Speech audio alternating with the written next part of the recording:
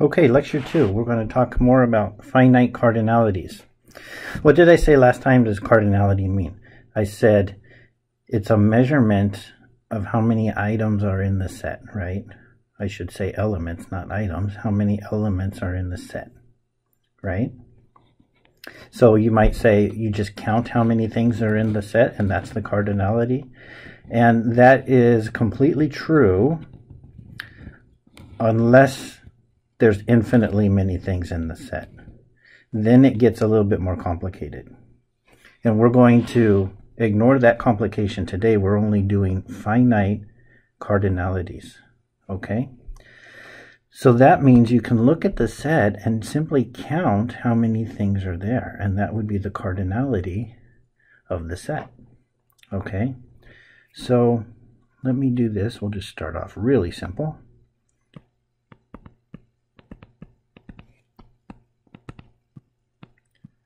Let's look at that set. Okay? And I want to know the cardinality of that. Remember, the symbol we're going to use for cardinality is identical to the absolute value symbols. So I could do that. And what would be the answer? How many things are in that set? I see five. So that's the answer. Okay. Another way to do it, just so that you know, is I could have given that set a name and said A equals that, and then I could have written the cardinality of A equals 5. Okay? All right, let's go back to the way it was. Now, it's a pretty simple concept, I think, right? Do you agree? But there are some uh, small technicalities that are very, very common for confusing people at first. It's very easy to get past this confusion and then it will probably never confuse you again. Okay, but but probably the first time it will. And all we need to do is just point out the possible confusion and get you past it once and then it'll be fine. Okay? Look at this. I'm going to take a set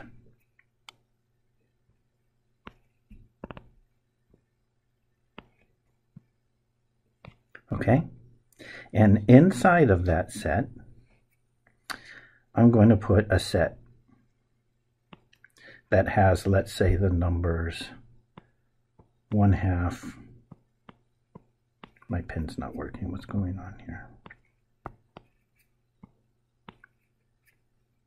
Give me one second. There, that fixed it. Okay, let's say 1 half and 5 and pi. How about that? So I have a set, and inside that set is another set that has three elements. So I ask you this question. What is the cardinality of that? Think about for a second, okay? And I'm going to tell you the answer, and you either got it right or you got it wrong and it's one of these two answers. I know it. And the answer is 1. Okay? Some of you said 3, and that's perfectly fine to say that, but it's not correct. The answer is 1. Okay, let me show you the reason why. I'm going to draw a picture here. Remember the analogy I said in the last lecture because this analogy will help you on almost every single problem about uh, cardinalities, okay? And that is what is a set and what are elements? Think of a set as a cardboard box. And the elements are the things that you see when you look into the box. Okay? Listen very carefully what I said. I didn't say the elements are the things in the box, although that would be true. But that's not the way I said it, is it? I said the elements are the things that you see when you look into the box. Okay, so let's look at the first problem.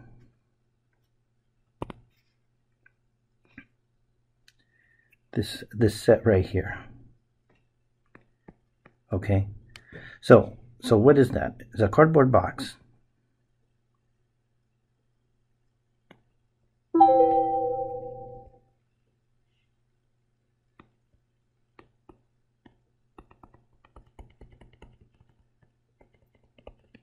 Okay? And inside that cardboard box are five blocks, like the kind you probably had when you were a kid. One of them's got the number five on it. Here, to save time, this is going to take us all day. So to save time, I'm just going to draw a square, okay? That's a, that's a little block with a 5 on it. And there's a block in there with a 3 on it. And there's a 7 and an 8 and a 9. Okay, so when I open that box and I look inside,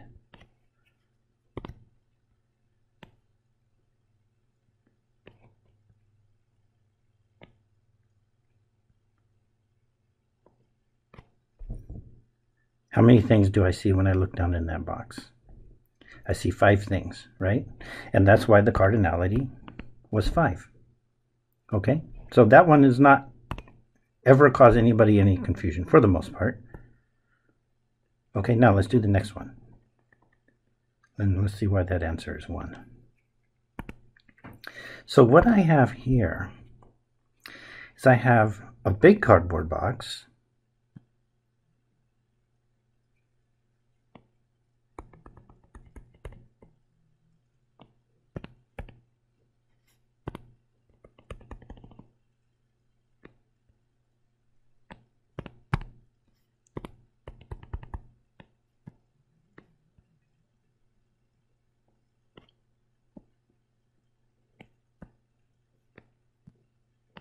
Okay, there's a big cardboard box.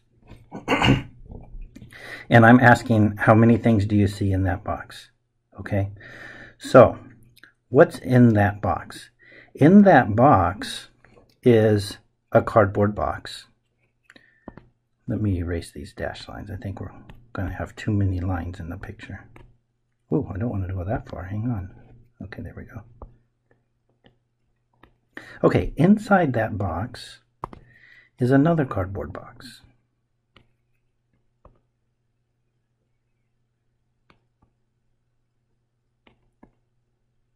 You see how I'm making these boxes closed? I'm doing that on purpose. It's like they're taped closed, okay? And inside that little box are three numbers. There's a block with a one half, and a block with a five, and a block with a pi. Okay, now I open the big box and I look to see how many things do I see. There it is again. Remember, I'm not saying how many things are in there. I'm saying how many things do you see. So look at that picture. If you look down in that box, how many things would you see? Now, mind you, this is made out of cardboard, not plexiglass. You can't see through the cardboard. So when you look inside that big box, what are you going to see? You're going to see a cardboard box that's closed. I drew it that way on purpose. Right? Are you going to see the one half and the five and the pi? No, because they're inside of another box and you can't see through that. You're not Superman or Wonder Woman. Okay? So how many things do you see when you look in there? You see one. And so the cardinality of that set is 1, because that's how many things you see when you look in there. Okay? Now, the cardinality of this set that's inside of the other set, okay, the set inside has a cardinality of 3, because if you opened that little box and looked inside, you would see three things. So the cardinality of the little set is 3, and then that little set is inside of the bigger set. And that little set is the only thing in the big set. So the cardinality of the big set is 1. Okay? I hope that makes sense. If it doesn't, you can ask me during one of the discussions. But usually the box analogy um, is something that will help you through any difficulty of cardinality, as long as there's not infinitely many elements. Okay? All right, let me erase that picture. So let's just do a few more now. What if I did something like this? Here's a set that has inside of it the number 10 and a flower.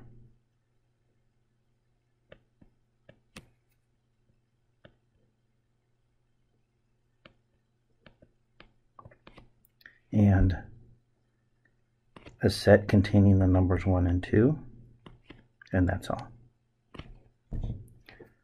What is the cardinality of that set?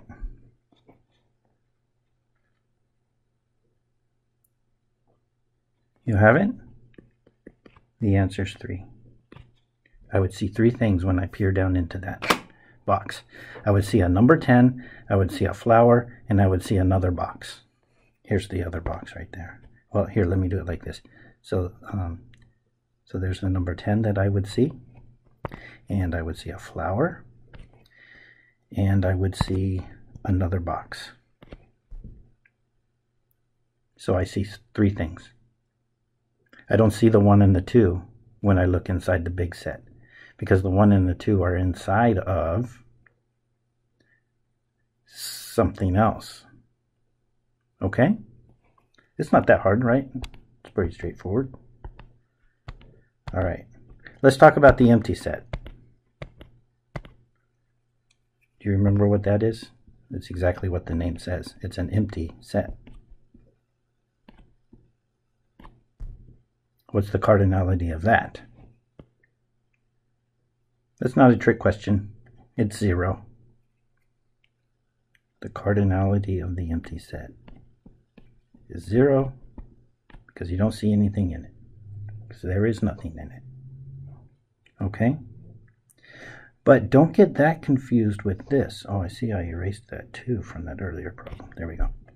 Don't get that confused with this. Here's a problem that um, we like to ask that.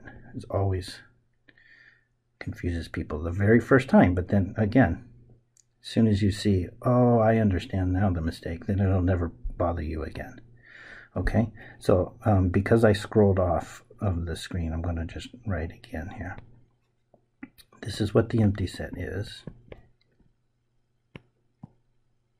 And the cardinality is zero. Okay, now look at this set.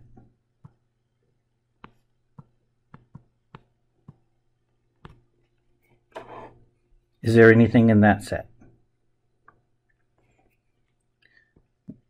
And if so, or if not, what's the cardinality of that set? Think about it. Now, again, there's only two answers that anybody ever says for this. And one of them's right and the other one's wrong. Okay? Here's the correct answer. Let me, up here, let me write the cardinality of the empty set for you. The cardinality of the empty set is zero. Okay? The cardinality of this set is 1. Because there's something in there. You know what's in that set? The empty set is in that set. It wouldn't make sense, would it, if I did this? I'm going to take an empty box. That's the empty set. There's nothing in there. That's the empty set, and its cardinality is 0. Okay, and that's why we get that up there. Okay, but now, what does this say? This says, it doesn't say the empty set, that's what's important. It says a set with the empty set inside of it. So, my claim is that that set's not empty. So let's take that empty box that I drew down there, and now I'm going to put that empty box inside of a bigger box.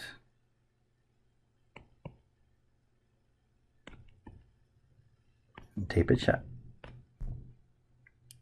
Okay, and then I'm going to ask you to open that box and see if there's anything in it. So let's open that box.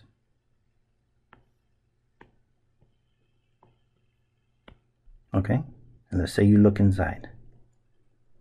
Is there anything in there? You see, if you said, no, this big box is empty, then I would say, oh, you better go to your optometrist. Because when I look in that box, I very clearly see that there's something in there, isn't there? This box is inside there. So you can't say that the cardinality of this set is zero because that set's not empty. The cardinality of this set is zero. That's the empty set. Okay? But this set is not the empty set. That set has one thing inside of it. So the cardinality of that set is 1. Okay, you see how that works? It's not confusing, it's just that almost everybody will say the wrong answer first, but then as soon as they realize, then they then they got it straight. It's not the sort of thing that keeps causing problems over and over again.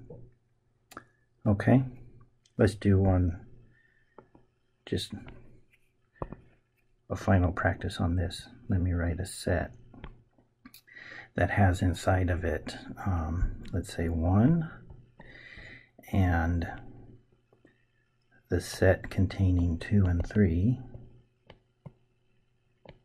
and the set containing 4, and the set containing 5, and the empty set inside of there.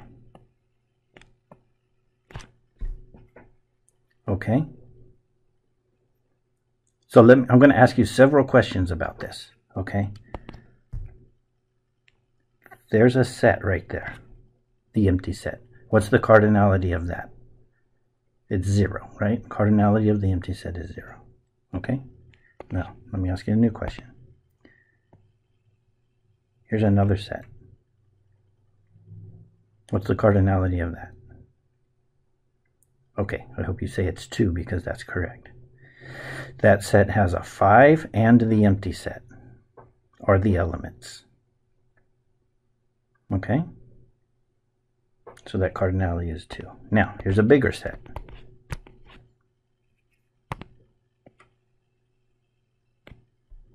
What's the cardinality of that? Careful. Don't be too quick to answer. Look at it carefully.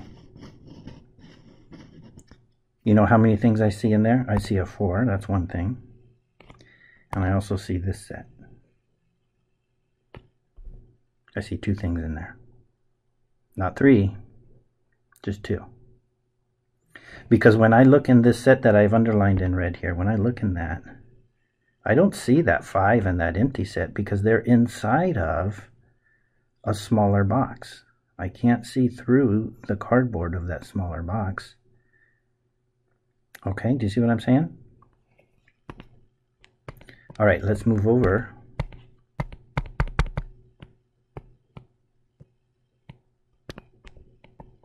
Here's another set here. That one's a little bit easier. What's the cardinality of that? That's 2. Is that a set? No, that's not a set, is it? There's no curly brackets. All right, now, final question, and this is the big one. What's the cardinality of that set here? Well, let's see. How many things do we see? Let's count them. I'll circle them in purple. There's one thing that I see. Here's another. And here's another. How many things do I see? I see three. The cardinality is three. By the way, uh, you might notice this. Look, you can also use the commas to help you uh, count that. There's two commas, so that means how many things are being separated. Three things. And why would I not count this comma? Because that belongs to these brackets. You see? So that's not a comma for the big set, that's a comma for that smaller set. You see what I'm saying? Same thing here. I wouldn't count this comma because it belongs inside of these brackets. So that's for that smaller set. And I wouldn't count this comma because that is for this set. The only commas for the big set are the ones I circled in red. And there's two of them. Two commas means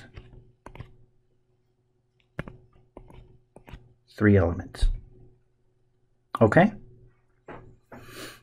All right, now I just want to do a little bit of practice with set builder notation. We went over that in lecture one. What if I what if I wrote this? The set of all x in the integers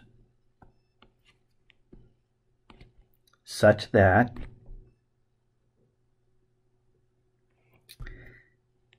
x sorry x squared is between 10 and 100.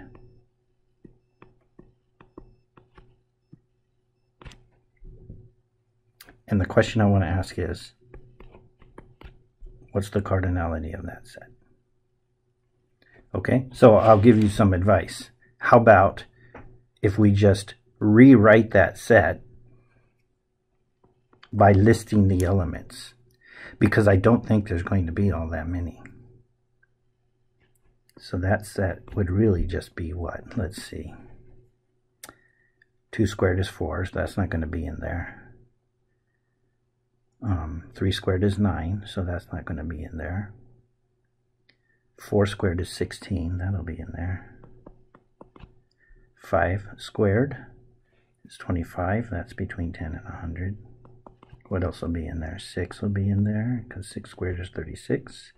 7 and 8 and 9 will be in there.